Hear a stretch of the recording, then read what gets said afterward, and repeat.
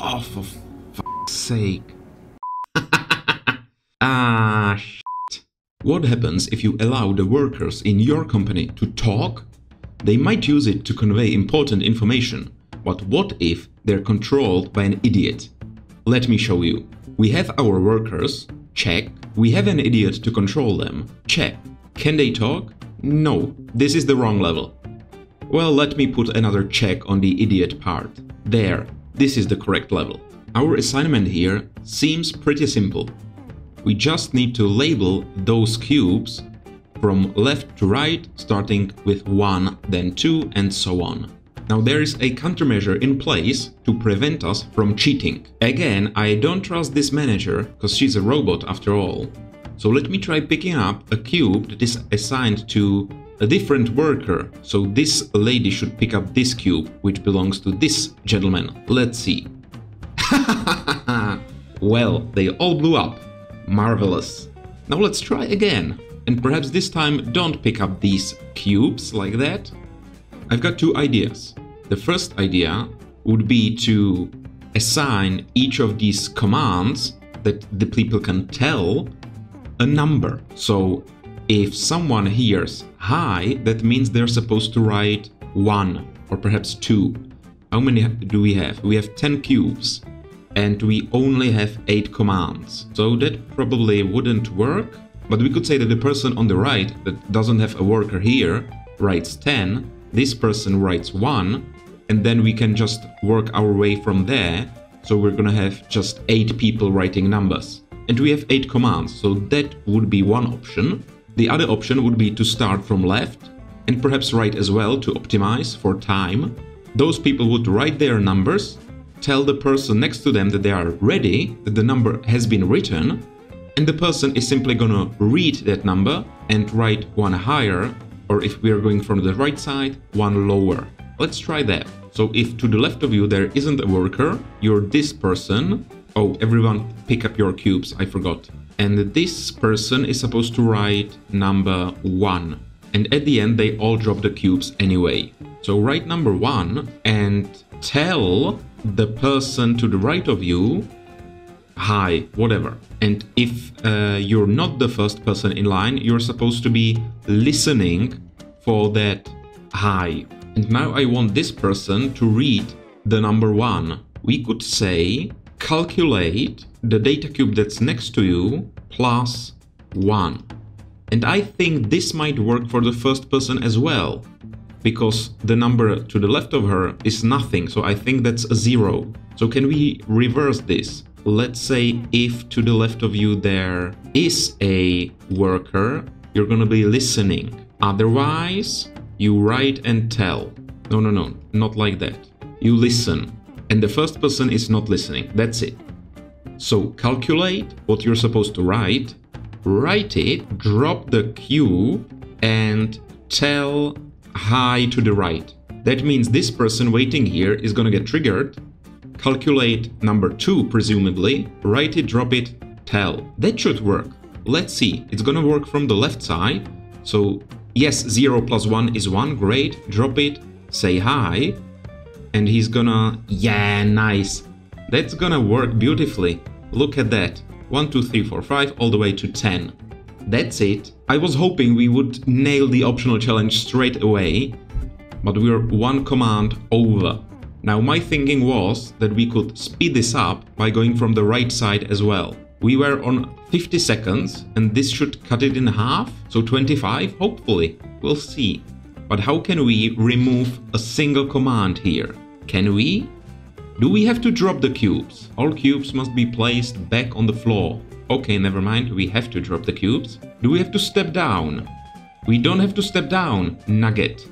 So just pick up the cubes, which means that they should step down anyway, right? Okay, no, it doesn't. And we need them to drop the cubes on this line. So we need that step there anyway.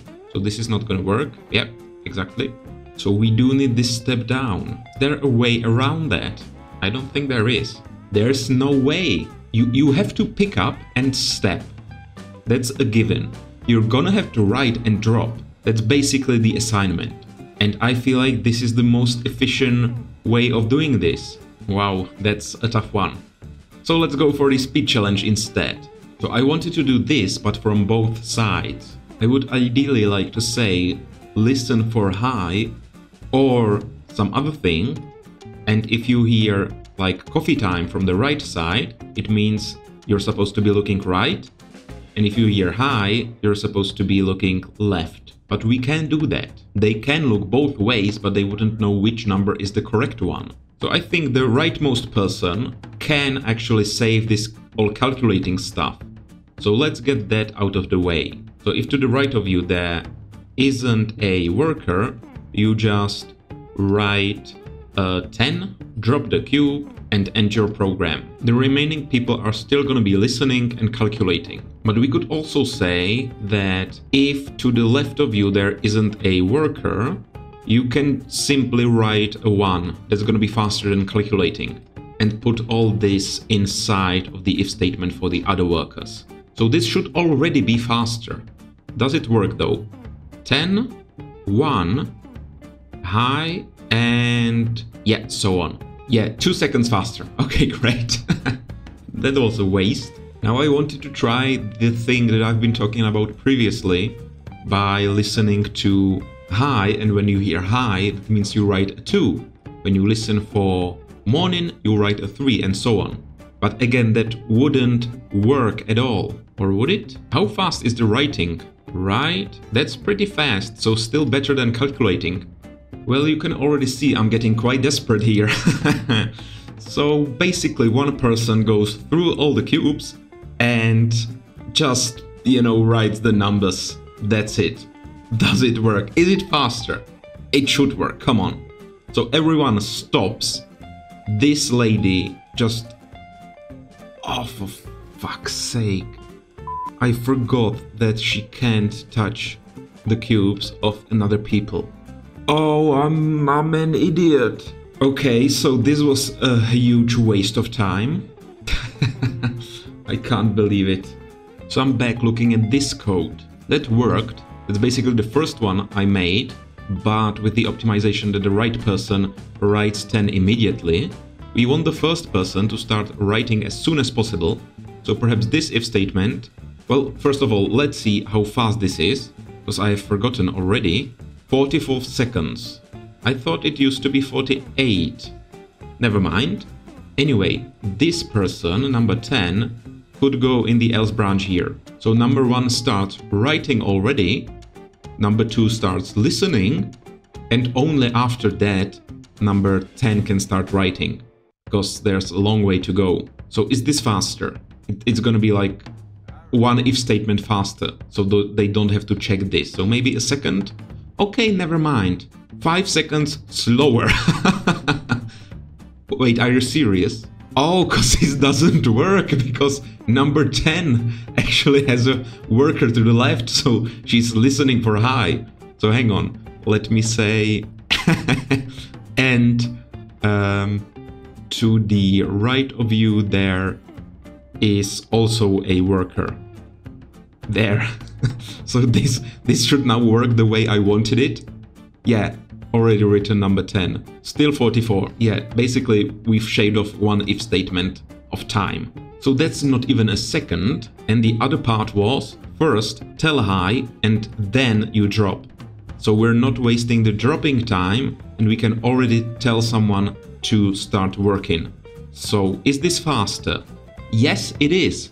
So 3 seconds faster it seems. This is not the way to make this faster, I think I need another idea.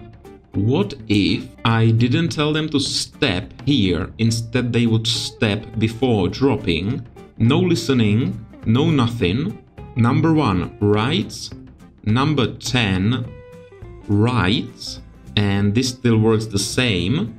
And then if there is a worker to the left and right of you, meaning you're somewhere in the middle, you're gonna be watching the adjacent tiles which are left down and right down of you. So if you see a data cube to the bottom down from you, you're gonna calculate that data cube plus 1 and write it.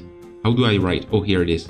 And write it on your data cube and then again step down drop. If you see a data cube to the bottom right, you do the same, but you calculate bottom right plus, oh sorry, minus 1 this time, there, and again write it. So we can actually put this here, and let's say that if, oh, we can put this here actually, all the way down there, we're gonna need a jump, a few jumps, so keep doing that forever, and if you have found a data cube of such sort, you jump out of the loop.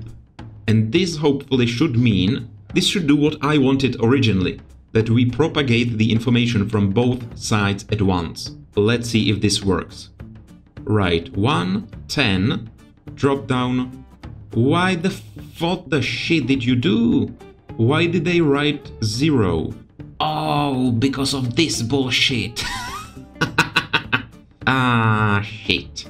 I don't think that setting a value to a memory takes any time in this game. So eventually they write memory 1, which wasn't initialized in their case, so they wrote 0. And what we can do is instead of writing 1, just initialize the variable memory 1 so set to 1 and set to 10 instead of writing, and then they're gonna write it anyway. If we wanted more optimization, we could place jumps here and here to again skip this if statement. Hopefully not necessary. Let's see. So you write 1, 10, and these guys are watching and calculating 2, 9. Great, working perfectly.